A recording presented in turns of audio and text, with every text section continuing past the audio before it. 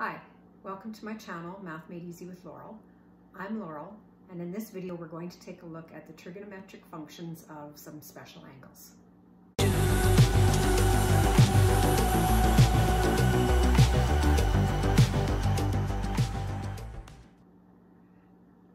So in your study of trigonometry, you're going to find that there will be certain angles that come up uh, um, more often than others. And you're going to also find that you're going to be expected to know exact values of those angles rather than the value your calculator gives you when you punch them in. So in this video, I want to talk about what those uh, trig functions are equal to in exact values, and I want to show you a little trick to help you remember those. So first of all, we're going to take a look at one of the special angles, which is 45 degrees. And to do that, I'm going to draw a 45, 45, 90 degree triangle. And in that triangle, I'm going to let this side equal one. Because this angle is 45 degrees and this angle is 45 degrees, that means these two sides have to be equal. So that has a length of one unit as well. Um, and it's an isosceles right triangle, so we know that those two, if those two angles are equal, those two sides are equal. Now to find our hypotenuse, we can use our right triangle theorem. So a squared plus b squared is equal to c squared. In this case, 1 squared plus 1 squared will equal c squared. That's our hypotenuse across from our right angle. So 1 plus 1 is 2. So c will be equal to square root of 2.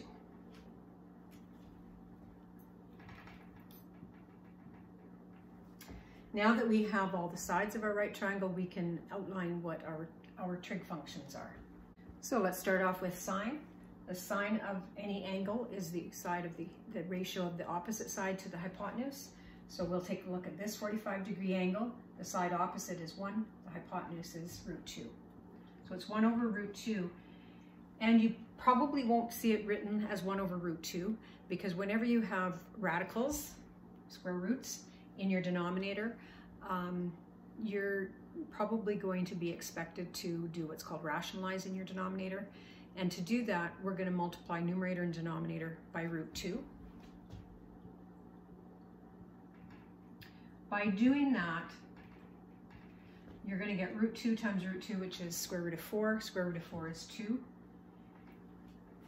Rationalizing the denominator just means getting the radical out of your denominator. It can be in your numerator, but it, you don't want it in your denominator. So you'll probably see root 2 over 2 as the ratio for sine of 45 degrees. Cosine of 45 degrees is adjacent to hypotenuse, so 1 over root 2 as well, which is root 2 over 2. And tangent of 45 degrees is opposite over adjacent, so 1 over 1 is simply 1. So those are values that you're probably going to be expected to know and um, probably in this form. I also want to point out that your angle might be expressed in radians instead of degrees.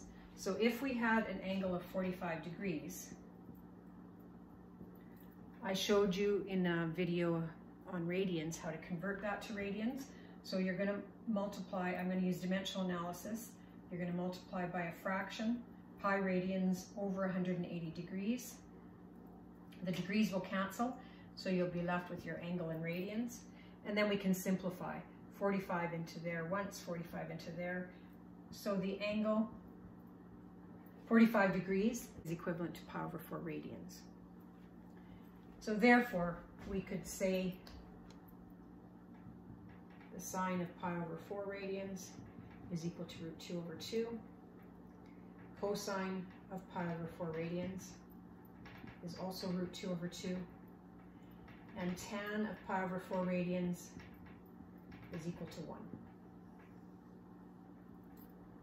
So that's one set of values that's going to be important, um, especially when you get into things like trig equations.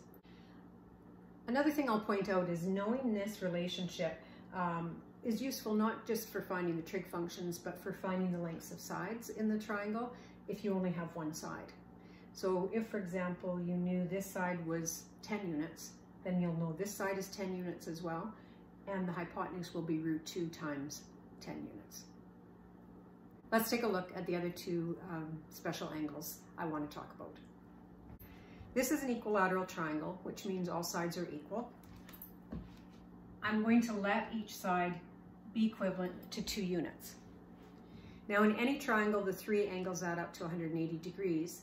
In an equilateral triangle, because the sides are all equal, then the angles have to be equal, which means that they all have to be 60 degrees. What I'm going to do next is I'm going to bisect this angle.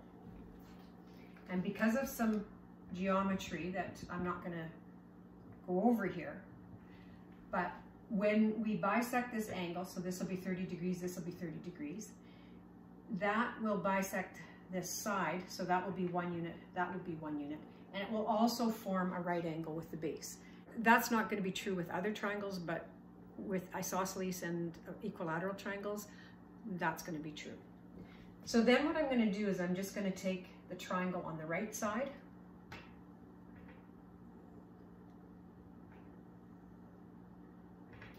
So this is 60 degrees. This is 30 degrees. This is two units, and this is one unit. In order to find this missing side, we're going to use our right triangle theorem again. So we know that A is 1, so 1 squared plus B we don't know equals C squared. So 1 plus B squared is equal to 4. So B squared, subtract 1 from both sides is 3, and B will equal root 3. So therefore, this height of this triangle will be root 3. And again, we've got a relationship between the three sides that you might find useful if you know one side and you want to find any of the other two sides. Understand that the side opposite the smallest angle will be the shortest side, and that's going to be one unit. The side opposite the largest angle, 90 degrees, will be the longest side, and that will always be double the shortest side. The side opposite the 60 degree angle will be root 3 times whatever the shortest side is. Now we can go through and find our three main trig functions with 30 degrees and then with 60 degrees. So if we wanted to find the sine of 30 degrees, it's going to be the opposite over the hypotenuse, so 1 over 2. The cosine of 30 degrees is the adjacent over the hypotenuse, so root 3 over 2. And the tangent of 30 degrees is opposite over adjacent, so 1 over root 3. Again, we can rationalize the denominator by multiplying numerator and denominator by root 3. So we'll get root 3 over root 9, which is just 3. Let's take a look at the trig functions when the angle is 60 degrees. So sine of 60 is opposite over hypotenuse. Cosine of 60 is adjacent over hypotenuse. Tangent of 60 degrees is opposite over adjacent. So root 3 over 1. Now, you probably will need to know these um, trig functions when your angle is expressed in radians as well as degrees. So let's just talk about that for a minute. If we have 30 degrees in the video that I did on radians, it showed how to convert. I did it with the 45 degrees. I won't do it again with this example, but I will tell you that 30 degrees is pi over 6 radians. Therefore, we could write all of our, um, instead of 30 degrees, we could write pi over 6 and all of our special trig functions. Let's do the same thing with 60 degrees. 60 degrees is equivalent to pi over 3 radians. Therefore, our three trig functions with 60 degrees but expressed as pi over 3 radians would be those values. and I know what you're probably thinking. Between the 45 degree or pi over 4 radian uh, trig functions and then these ones, that's a lot of numbers to remember, especially because they're fractions. They involve um, pi if you have your angle in radians. They involve radicals. So I'm going to show you a little trick that will hopefully help you uh, remember these values if you're expected to remember them. If you're required to know all of those exact values for those trig functions of your special angles, you might find this very useful. set up a chart and you can put your angles in degrees just to remind you what the angles are. So we're going to start at zero degrees and go up to 90 and just increasing. So our special angles are 30 degrees, 45 degrees, 60 degrees. We're going to express those angles in their equivalent uh, radian form. So zero radians, 30 degrees is pi over 6 radians, 45 degrees is pi over 4 radians, 60 degrees is pi over 3 radians, and 90 degrees is pi over 2 radians. So this row will just be the angle. Now, to start off with, for sine, I want you to put a fraction in each of these squares with 2 in the denominator.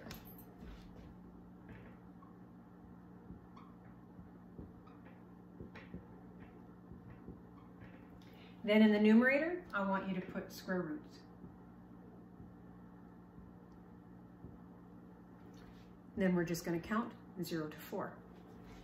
0, 1, 2, 3, 4. Those are the sine functions of those angles. Let's simplify some of them. Square root of 0 is 0 over 2 is 0. Square root of 1, we can just write that as 1. So the ratio, the sine of 30 degrees or pi over 6 radians is 1 half. Root 2 over 2, there's nothing to simplify there, so we leave it. Sine of 60 degrees is root 3 over 2. We can leave it. And lastly, the sine of 90 degrees or pi over 2 radians will be root 4, which is 2, 2 over 2.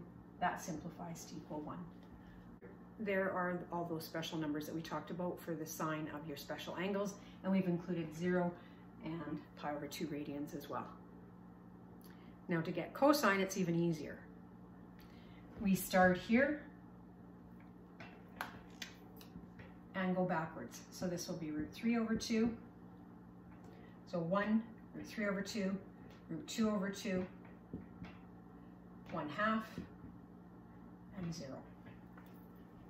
So knowing that chart might think, make things easier for you if you have to remember these special values.